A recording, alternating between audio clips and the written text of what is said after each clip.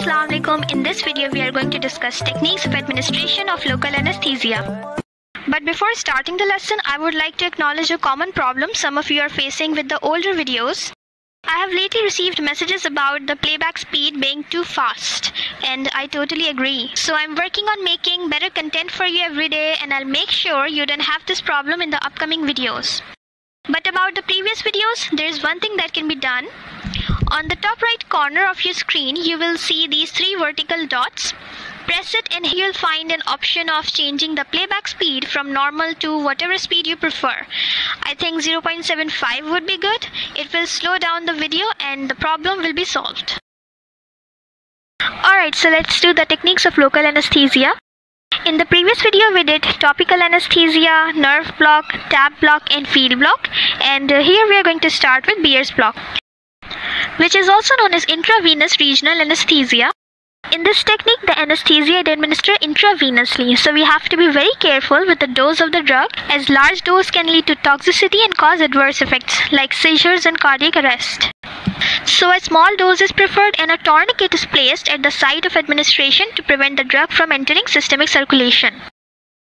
Bier's block produces excellent anesthesia for short surgery, particularly for the upper limb, but it is not safe in lower limb surgery as it will require large dose and it can lead to toxic effects. So it is suited for ganglionectomy, carpal tunnel release, Dupuytren's contracture surgery or reduction of fractures. And the safest agent to be used in this procedure is 0.5% or up to 50 ml of prilocaine, whereas bupivacaine is absolutely contraindicated as it can cause cardiac arrest. Now the procedure includes several steps. First, a double tourniquet is placed with the proximal and distal cuff where the procedure is to be performed. It separates this area from the rest of the circulation. Then the arm is exsanguinated, which means to get as much blood out of there as possible. This is done by wrapping it with a tight elastic dressing as well as elevating it. Once this is done, the proximal cuff is inflated and the wrapping is removed. With tourniquet now inflated, slowly inject the local anesthetic.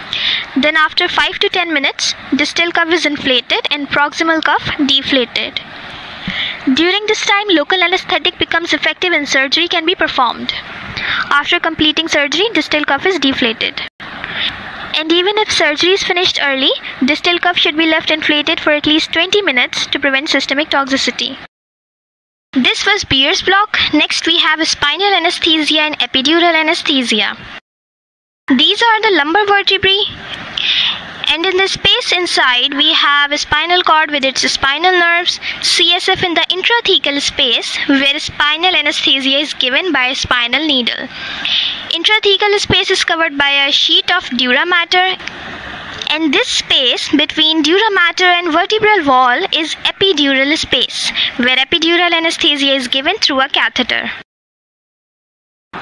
Now let's go into the details of spinal anesthesia, which is achieved by injecting a single shot of local anesthetic into the lumbar intrathecal space. It blocks the spinal nerve roots, dorsal root ganglia, and probably the periphery of the spinal cord.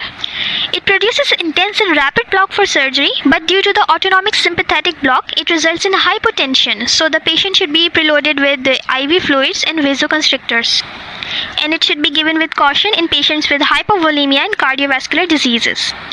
It is usually limited to surgeries below the level of T10 because if the level of block is above T10, severe hypotension and ventilatory failure may occur. And the very common complication of spinal anesthesia is spinal headache or dural puncture headache which is due to leakage of spinal fluid. It can be minimized by limiting the number of punctures and using fine bore pencil tip needle which are designed to split rather than cut the dura. In this way, the headache is prevented, but if it does occur, then it can be treated with blood patch epidural injection, which involves injecting 5 to 10 ml of the patient's blood into the epidural space at the site of previous puncture. So, this blood plugs the leak of cerebrospinal fluid. Last is epidural anesthesia, in which the anesthetic is injected in the epidural space. It is slower in onset than spinal anesthesia, but it has the advantage of prolonged analgesia by multiple dosing or by continuous infusion through a catheter placed in the epidural space. Whereas continuous infusion through a catheter in a spinal anesthesia has been implicated in causing specific complications like infection, headache, or cauda equina syndrome. So this is why usually epidural anesthesia is preferred over spinal anesthesia. Due to its slow onset, it also allows better control of the resulting hypotension from sympathetic blockade and also reduces the blood loss. But it can cause urinary retention, so catheterization of bladder becomes necessary during the procedure. It is ideal for post-operative pain relief, but it does not produce adequate analgesia for surgical intervention. It also has some disadvantages like it is more difficult than spinal anesthesia with a higher failure rate and carries the risk of nerve damage, spinal injuries, risk of infections and epidural hematoma. So these were the techniques of local anesthesia administration. Thank you for watching. Don't forget to like, comment and subscribe.